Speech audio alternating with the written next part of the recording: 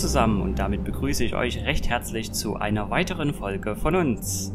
Ja, es ist Folge 69 und in dieser Folge geht es etwas weiter zurück bis ins Dritte Reich. Und da wollen wir doch mal schauen, was hier wirklich gemacht wurde, was daraus wurde, wie es die DDR-Zeit überstanden hat und wie es dort heute aussah. Aber das erfahrt ihr von mir alles gleich. Ich wünsche euch also viel Spaß, bleibt eingeschaltet und spitzt eure Ohren. Und eine kleine Sache noch nebenbei. Wenn ihr Bock habt auf verlassene Orte hier im Osten Deutschlands, dann geht doch gerne auf unseren Kanal, abonniert uns, ihr unterstützt uns damit und jetzt geht's weiter zum Video.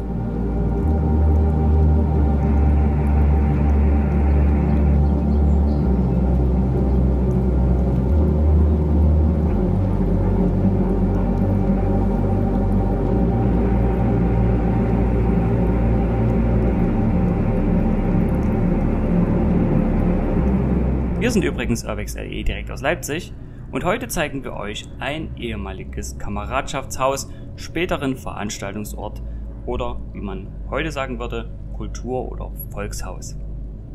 Nach Plänen eines renommierten Architekten entworfen, ging mit dem Wunsch und Segen der Nationalsozialisten dieser zu Propaganda- und Kameradschaftszwecken erbaute Sammel- bzw. Treffpunkt im Mai 1937, also nach rund einem Jahr Bauzeit, noch vor dem Zweiten Weltkrieg in Betrieb. In einer Zeitung vom 31. Mai 1937 fand man Belege zur Einweihung, zu der auch hochrangige Vertreter der Partei geladen waren. Um die Richtlinien Hitlers während der Einweihung durchzusetzen, beauftragte man SS-Obergruppenführer Rudolf Jordan mit der Ausführung. Der war übrigens zu diesem Zeitpunkt lediglich vier Wochen im Amt, aber zu dieser Zeit halt eben Reichsstatthalter. Während dieser Zeit fanden hier politische Besprechungen und Versammlungen statt, aber auch wilde Feste und kameradschaftliche Umtrünke soll es hier gegeben haben. Ob wie der Volksmund spottete, Reichstrunkenbold Robert Ley auch mal hier zu Gast war, ist nicht bekannt, aber auch eher unwichtig.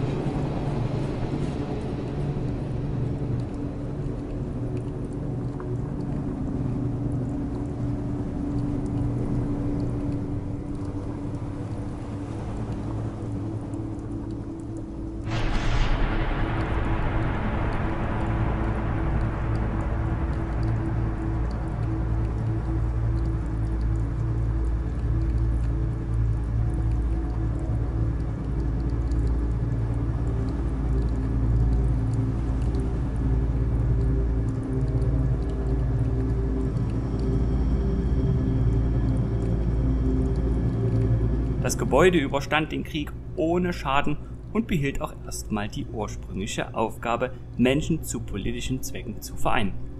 Allerdings nun für das nächste Regime.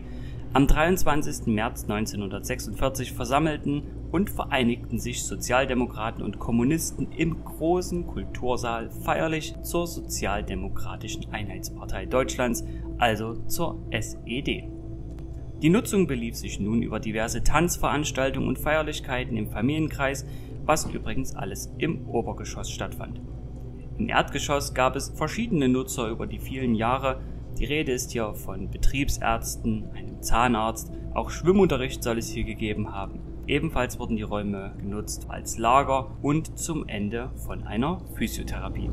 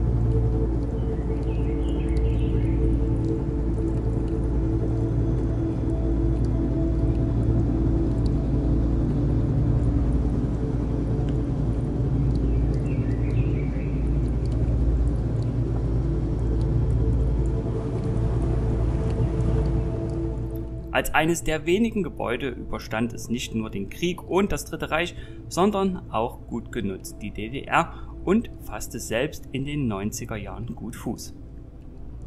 Unter neuem Namen entstand Anfang der 90er Jahre hier eine Großraumdiskothek, die über die Jahre mindestens dreimal den Namen und auch den Betreiber änderte.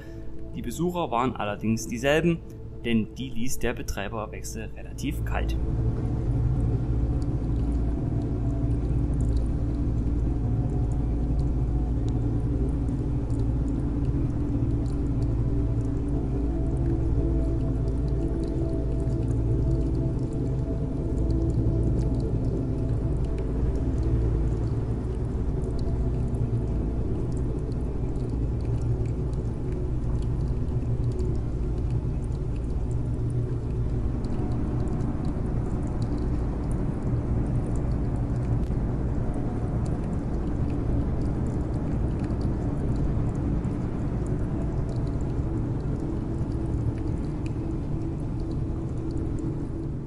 Im Jahr 2001 kam es zu einem Brandanschlag auf die Diskothek, bei dem der Täter zwar gesehen und sogar gefilmt wurde, nur war dieser halt insgesamt schneller auf den Beinen als der Sicherheitsdienst und entkam leider unerkannt. Der Schaden belief sich und beläuft sich auch bis heute auf mindestens 15 Millionen Euro und die Substanz wird auch nicht wirklich besser. Knapp 20 Jahre ist das Ganze nun her und getan hat sich nicht viel. Der Verfall schreitet mit jedem Regen weiter voran und ist nicht aufzuhalten. Vieles ist schon jetzt nur noch bedingt betretbar. Zwischendurch wurde das Objekt gegen herabfallende Teile mal gesichert, aber langfristig hat man eher wenig Perspektive für dieses geschichtsträchtige Gebäude, was übrigens unter Denkmalschutz steht.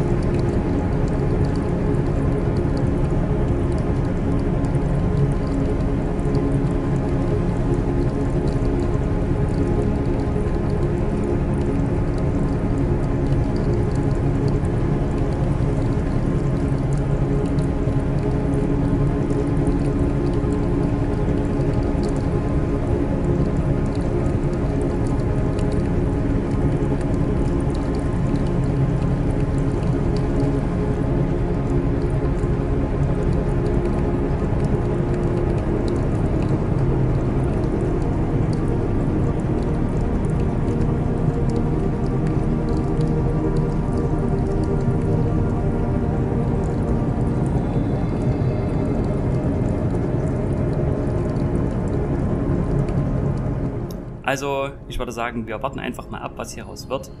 Und vielleicht gibt es ja mal ein Nutzungskonzept durch die Stadt. Aber wie seht ihr das eigentlich? Was könnte man denn aus dem Objekt machen? Habt ihr da eine Idee? Dann schreibt es doch gerne mal in die Kommentare. Zum Schluss gibt es wieder noch ein paar Bilder und wenn ihr noch ein Video schauen wollt oder noch Lust habt auf mehr, dann schaut gerne mal auf unseren Kanal, da findet ihr noch einiges zum Thema Lost Places. Ich schlage vor, wir hören uns nächste Woche Mittwoch wieder. Bis dahin, macht's gut, bis bald und ciao.